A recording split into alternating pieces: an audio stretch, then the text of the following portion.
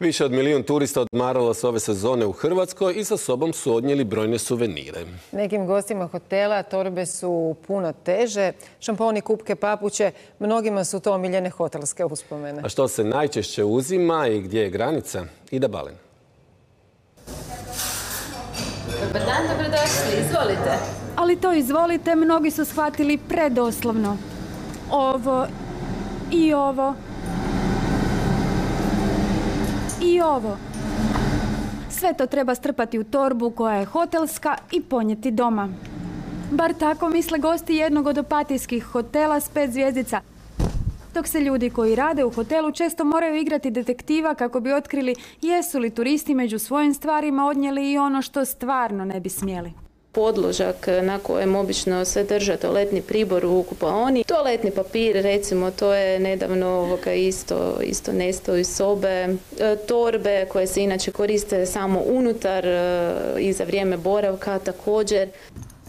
Ali realno gotovo svi smo iz hotela uzeli šamponiće, kupke, možda i još neku sitnicu. Ste sad u hotelu? Ne, nismo sada baš. Aha. A da jeste šta bi uzeli? A, šampon je to.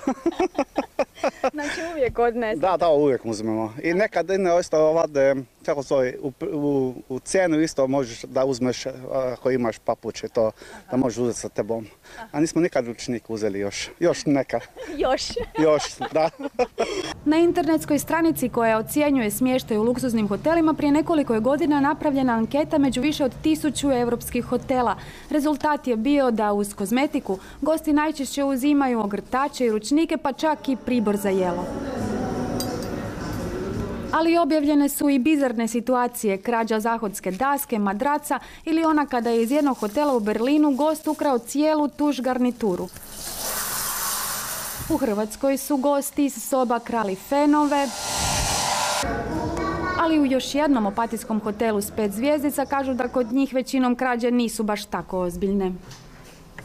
Znaju nam nekad ručnike uzet, to je najčešće jer su kod nas brendirani, ove kućne ogrtače, najčudnije što su nam uzeli je bio daljinski od TV-a.